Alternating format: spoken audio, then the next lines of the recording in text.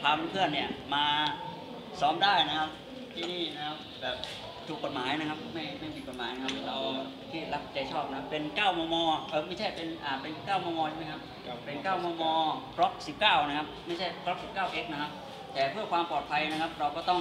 อ่าบ่มเพาะพอที่จะมีมาตรฐานตรงนี้นะครับ เพื่อที่จะอ่าป้องกันระดับหนึ่งนะครับโอเคนี่ผมเข้าใจนะครับ ก็แม็กซ์ครับ อันนี้ที่ให้ที่เขาสอนนิดนึงนะครับก็ยังไม่เคยยิงจริงๆครับเคยยิงแต่บีบีกันและแอบแบงก์กันนะครับโอเคแต่อันนี้คืออันนี้นี่ใช่ไหมครับโอเคอันนี้คือนี่เป็นมีหัวกระสุนนะครับโอเคครับอันนี้ผมก็บรรจุอยู่ประมาณ 5 นัดนะครับ ก็โอเคเข้าไปตามนี้นะครับ ก็ประมาณนี้นะครับ เดี๋ยวผมจะยองยิงประมาณสักกี่เมตรครับนี่เป็นพี่ อันนี้เจ็ดเมตรเจ็ดเมตรนะครับอะโอเค ประมาณนี้นะครับว่าผมจะเข้าเป้าเท่าไหร่ แต่ผมก็ขออนุญาตสารภาพนะว่าผมมึนๆนิดๆนะครับโอเค อันนี้ก็อันนี้ผมถนัดซ้ายเนาะก็ถ้าเป็น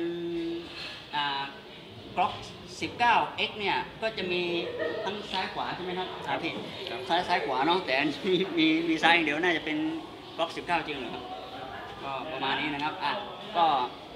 หันกระบอกปืนไปลำกล้องปืนไว้ที่ในทางที่ปลอดภัยนะครับ โอเค แล้วก็ทำการเข้าลำกล้องแล้วก็นี่ครับ อ่าโอเค ตอนนี้พร้อมยิงแล้วนะครับ ก็ทำการเล็งนะครับ โอเค ตอนนี้ผมจะเล็งแล้วนะครับ ก็เป้าดูสีมืดๆนิดนึงนะครับ แต่ผมก็ห้านัดก็พยายามจะให้เข้าเป้าที่สุดครับ อ่า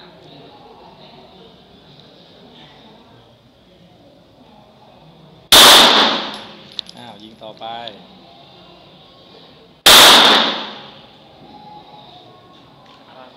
ครั้งดึงอะไรนะครับดึงอ่าโอเคครับปัดลำกล้องนิดนึงนะครับผมค่าปอก มีตัวกับผู้เชี่ยวชาญแล้วปลอดภัยครับผม แก้ไขอีกเนาะ ครับครับเป็น ย้ำอีกครั้งนะครับตัวหน้าจะเป็นกระสุนกระสุนซ้อมนะครับอ่าเป็นกระสุนพร้อมซ้อม แต่ตอนนี้เราก็ต้องสไลด์นะครับนี่นะครับอ่าประมาณนี้นะครับ แล้วก็เล็งครับ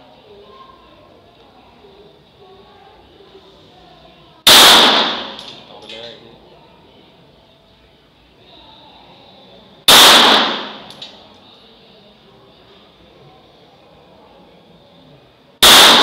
โอเคครับวาง อ่า หมดครับผม ครับผม เก็บ ปืนครับปลอดภัยครับผม โอเคครับ เดี๋ยวมาดูเป้ากันนะครับว่าผมจะยิงได้เกรดขนาดไหนครับ โอเคครับผมแล้วปืนบอกไปไปไปดูเลยเช็คเป้าเช็คเป้าดูไปนะครับตรวจเป้าเดี๋ยวครับผมครับเอาเลยครับติดเลย ครับก็สนามเชียร์ครั้งแรกในชีวิตนะครับ ก็นี่ครับเก้าออกนิดนึงครับ ก็ทั้งห้านัดนะครับหนึ่งสองสามสี่ห้าโอเค ก็ประมาณนี้ครับครั้งแรกในชีวิตก็ประมาณนี้นะครับ เดี๋ยวครั้งต่อไป ก็มีครั้งที่สองที่สามที่สี่ที่ห้าแล้วก็ครั้งต่อไปเรื่อยๆนะครับ ก็จะมาฝึกซ้อมเรื่อยๆนะครับ โอเคครับสำหรับคลิปวิดีโอนี้ก็ฝากเพื่อนๆ FC ทุกท่านนะครับ คอยติดตามชมติดกดไลค์ กด subscribe กดไลค์ กดแชร์ กดกดแชร์ช่อง The Big Joy Channel นะครับ โอเคครับ